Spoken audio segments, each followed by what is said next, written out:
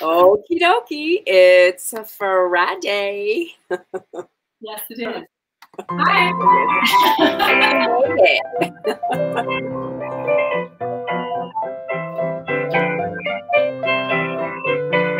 made it all the way to Friday, Lee.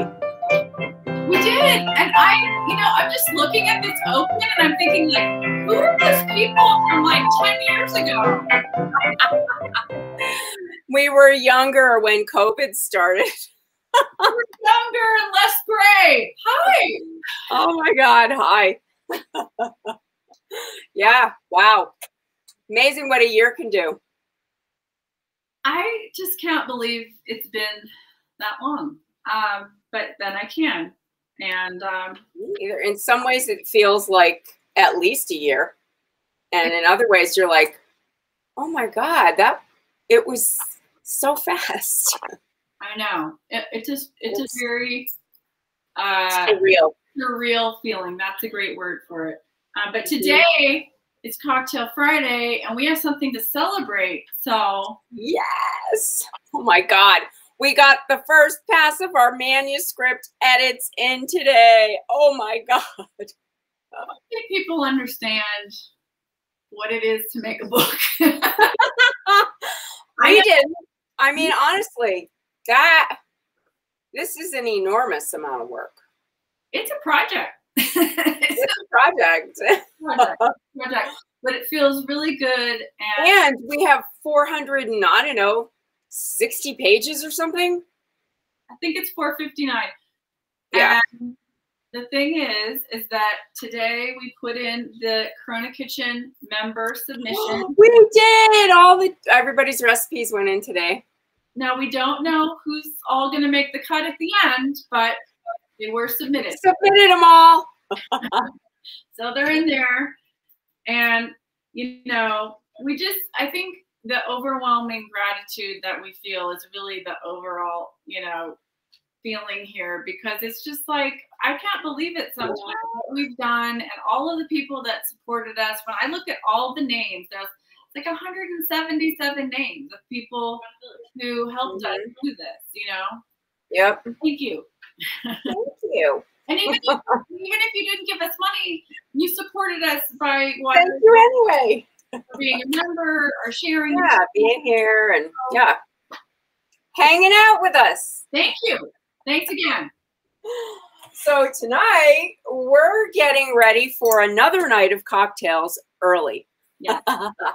yes, we are. I found organic vodka at Trader Joe's. Now, see, I didn't know they had that until you told me. I was very surprised and quite happy about it. And I want to share with you what this is. So I know we always talk about Santa Fe Spirits, but let's share the love for a moment, shall we? There's another okay. there's another company called Tumble, Tumbleroo. Tumbleroo. Yes. It's mm-hmm. in Santa Fe, and they make vodka from sugarcane. It's 80 proof. Well, that's nice. And it looks beautiful. I mean, it's all artisanal from scratch. Um, and it's local. How cool is that? Super cool. Tumbleroot. I'm gonna try it. Never tried it. All right. All right. Well, I, I'm I'm hope you probably should taste it before you put it in the lemons, just so you have a taste of the vodka. Because now we're going to bastardize it. okay, I'm I'm okay with that. Um, okay. Take a shot, Lise. what's happening right now? so we're getting ready. Okay, so here here we're making this Italian liqueur, which you know it's it, Italians have been making it for generations. Um, I, I often make it and, and then give it away at Christmas, but we thought it might be fun to have it for the summer for like lemon martinis and you know summer drinks. So I haven't ever had limoncello, and we're making arancello, which is the orange version of it. So that's mm-hmm. super cool. I've never had that. Yeah. But um, limoncello is a staple of southern Italy, and uh, the last time I was down there, um, I mean, you have it at every meal. It's so refreshing and light mm-hmm. and wonderful. Um, and it's just, you know, everybody's got their secret methods and all the stuff. And, you know, and it's so easy to make. You shouldn't have to buy it. You can, it's so fun. Just, just make it. I have not, I'm not, I don't know if I've had potato vodka. I was under the assumption that vodka was only made from potatoes. However, I am finding out that is not the case because this Trader Joe's vodka is made from organic yellow corn. This is a revelation to me. This is made from sugarcane. And then I saw another brand in there today that was made, I almost got it. I don't know if you saw it. It was organic also, and it was made from grapes. Isn't that wine? Vodka from grapes. I was like, what? Okay. Explain. Who knew? I didn't know. Okay, so this is all you need. A big jar. got it. 80 to 100 proof vodka. I got it. and organic lemons, or in my case, orange. And here they are. Da, da, da, I've got 10 lemons in a lemon colored bowl. There you go. Now here's the deal. So many people have said that it you you have to let it set for at least four days. Some people let it have said a week is fine, and other people say a month. My mom, Franny, is of the month classification. That's the only way I've ever done it is a month. I can't imagine that the flavor would be enough less than that personally. Um, I think if you do it less than that, it's because you really need it. I need some limoncello, okay? I must have the limoncello. but if you do it tonight or tomorrow or this weekend and you wait a month, it'll be perfect spring timing. That's right. So you can put it on ice cream. It, it's it would be delicious. Now look, I'm doing the lemon um, the peel and trying to keep most of the pith off of it. You just see your trick. So you, no pith. It's only the colored portion of. Yeah, you don't want the white part. Yes, no white part. Okay, got it. Or as little as you can get in, in the, you know. I have to say, this Cuisinart, or no, it's a KitchenAid um, peeler is one of the best peelers I've ever had. So you're peeling the entire thing. And how many of these are we going to do? And then you're just putting it in the jar? Yeah, I'm just putting the um the peels in the jar. You did a good job. Look. What? Oh, that's great. Nice. Okay. I'm putting it And then and then all you do is add the vodka on top and then you put it in a cool place and let it sit and every, you know, every day or so, shake it up. And then you're going to strain it into a pretty bottle. Um, and and you're going to add, well, actually, I would, I guess I would strain it into a bowl first and add some simple syrup. So, you know, some of that can depend on how sweet you want it, but like for a bottle of vodka, this big, I would probably do um, one to one simple syrup, like a, a cup to a cup. Okay. So are you going to do some kind of um, flavoring with herbs or something with your simple syrup, or what do you think you're going to do? Well, I was thinking, you know, with the lemon, even with the orange, it would be really like a nice flavor to add would be um, basil mm. to add that to it, or ginger. Yeah. Um, if you wanted to. Now, looking up cocktails the other day, I remembered this um, alcohol called Benedictine. Do you re- do you know that alcohol? I remember that. And um, it was really popular for I don't know a long time, but it's uh it's an alcohol that's like uh, it's got a brandy base, I think, and it's got like 27 herbs that go into it. Wow. Some proprietary, you know, kinds of herbs. Wow. And I think honey. So I only say that to, to tell you that the only limit to what you might add to it is your imagination. I mean, part of me want. I have this incredible wildflower honey that's local, and part of me wants to put that in it. Is that possible? That would be really cool. Yeah.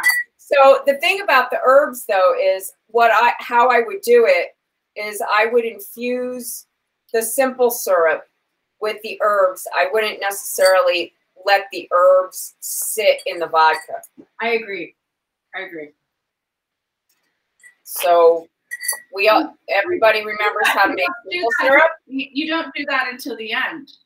Correct. After it's after this is um, ex, extracted, basically all of the citrus flavor Okay. from you know from the peel. So you're talking about a month from now, Yes. because I'm gonna do a month. I'm gonna do a month. Okay. Yeah. Yeah. No, I I am too. So we could That's- do a reveal together on the show. Yeah. We could do the limoncello reveal part two. Yeah.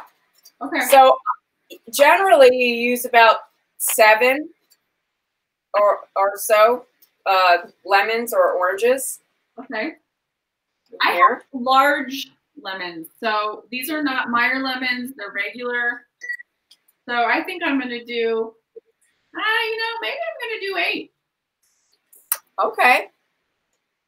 You know, it's not like. This is one of those peasant family recipes. It's not like There's no if you add more more lemon peel, it's going to be bad. right.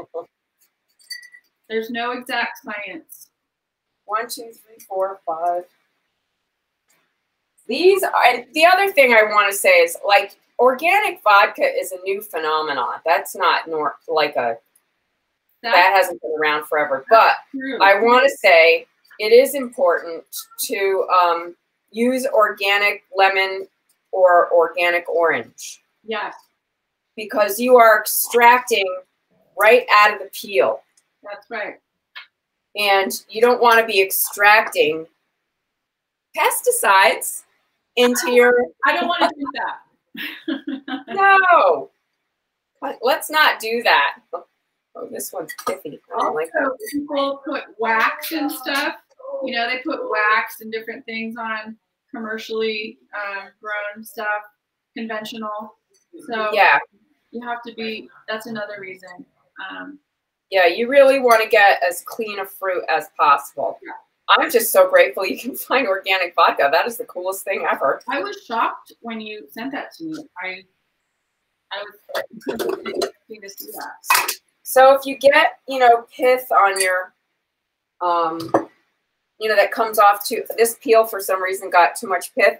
I'm just going to run my knife along the edge Okay. and pull off some of that pith.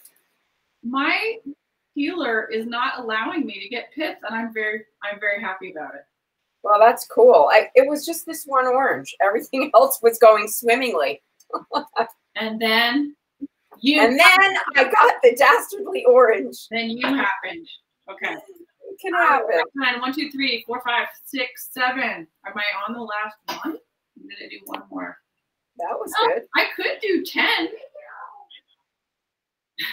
And, you know, I'm wondering, here's my question. If you add more, do, can you use less time? You know, we're we're kind of uh flying by the seat of our pants here. I don't, I don't know who to ask. It wouldn't be the first time, Debrianna. That certainly was. Um, And I'm just looking forward to cocktails later with this. it's gonna be so yummy. How much is this gonna make? well, whatever the amount of the vodka is, really, plus plus the sugar water. So it doesn't evaporate or anything? No, it shouldn't. I mean, you should have it closed pretty tight. So, you know, it'll be whatever your vodka bottle is amount. And you're gonna put it in the closet? Yeah. It, yeah, and it, I'll put it in my closet. Okay, I'm going for it. I'm gonna do ten. Why not? I bought a whole bag. well, then the question becomes what do you do uh, with the leftover lemons? Well, I use so many lemons in everything, but this is a lot of well, here's here's what you could do if you want, wanted. You could um, juice them, and then put the juice into an ice cube tray, and then have cubes of frozen lemon juice in your freezer Hmm. that's fresh. Oh wow. That's a great idea. That way you don't, you know, lose it. I thought you were going to say this. I thought you were going to say, take the juice and make simple syrup out of the juice, not water. Oh, hmm, no, I don't know if that would work. You're like, But- yeah, that's not going to work. I don't know if it would work. It might be worth trying. I mean, I don't know. I, I just, it just, Can you can you have too much lemon? It's a question. I don't know if you can. It would be tart, but I don't know. well, the whole thing gets balanced with the sugar, so Right. you might have to add more sugar or sweetener, whatever you're going to use. Okay, I'm done. I did 10. Awesome. I've done it. Da-da-da-da. Da-da-da. 10 lemons. Okay. What about those special orangey lemons? What are they called? Oh, Meyer lemons. Lemons. We yeah, we talked about that the other day. Remember? Yep. So is this, is this the right amount? Look, this is how much I've got. Yeah, that's going to be about what I have. I have. I'm going to do eight uh, oranges. I did ten. Now the fun part comes: pour the vodka in the. Pour the vodka on it. Everyone can do this. It's just so easy, and it's such a great gift. Like at the holiday times, it's so nice. That's the my favorite thing to do with it, and I have to tell you, um, my mom loves to make these fun liqueurs. You know, to have. Yeah, I mean, I thought about making um, creme de cacao today, but that's even more boring than this. You know what we should do sometime is if we had cherries, maybe this summer we'll do like a cherry liqueur. Oh yeah, that would be good. that'd be good. Well, I, it was it, it was interesting that the creme de cacao you use uh, cocoa nibs and you let it sit and then add the sugar. And I I thought, wow, that would be fun to do. I would love to do that. I smell like someone who's a seventh generation cleaner right now. Oh my god, you pour it? You poured I did. Okay, I'm doing it. Look how pretty. Did you do the whole bottle? Oh yeah, I did the whole bottle. Okay, here goes. 80 proof. Awesome sauce. Ooh, oh wow. It smells really good. I'm gonna just taste it. It already smells good. Oh my god. I'm telling you, these artisanal vodkas and gins and alcohol So lovely. What people are putting into doing this in a really delicious way. Wow. Beautiful. That's So my vodka says that this has hints of melon and pear. Um, on so I think this will be a nice vodka with the lemon. I mean with the orange. This is great. I'm very excited right now about this. It also turns a beautiful color, so it will be orange and it will be yellow. And you can And that's it, my friends. you could put it with spritz when it's done and all kinds of cool stuff. hmm Mm. Yeah, mint would maybe a, a mint simple syrup would be good Mm. I'm really excited about for this. this summer. We'll see you in a month. We'll see you in a month. See you in a month. oh my god. So thanks for hanging out with us, everyone. I hope people try it and and make some concoctions. And if you make it, take a picture and post it. We'd love to see it. Um, I can't wait Oh, to try this. This is going to be great. I know. Okay, here. Here's your stuff. Our Instagram account is growing. We'd love to have you join us. And also, we'd love to have you join our uh, this one of my favorite political groups is DemCast. They do a call every Tuesday, and we talk about the important issues of the day and how we are going to organize and get stuff done. So, I uh, it's a great group of people. I really hope that that um, I'm encouraging some of you to join. Thank you, everybody. And please. Um, so what? David doesn't get a cocktail tonight? not tonight. Not tonight. Oh, David's already had one. I had, I had Oh, okay. Don't, don't don't worry. He's already had his Manhattan. But thank you for worrying about him. much appreciated. He was outside um, make, building fence today, so he deserved an early cocktail. Building fence as you do. Yes, and, and I'm gonna make him a, a, a shrimp pesto pizza for dinner. Mm. Speaking of pizza, I'm making Debrianna's pizza dough tonight. Yay! You've never had it, you could go in the search bar um, on the Corona Kitchen Facebook page, and you can. It's so easy. but it's also going to be in the cookbook. Yay! So it's on Amazon, by the way. If we haven't said that before, you can pre-order it on Amazon. So Yes, that time we ate our feelings. That's our book. that's our goal. That's our book. Thank you, everybody. Thanks, everybody. Have a great weekend and be safe. Be well. Get your shot. Wear a mask. Hey, I, I'm going to go see the Frida Kahlo Diego Rivera exhibit tomorrow. Although I am vaccinated, I will be wearing my mask. yeah. I'm so jealous. I really want to go to that.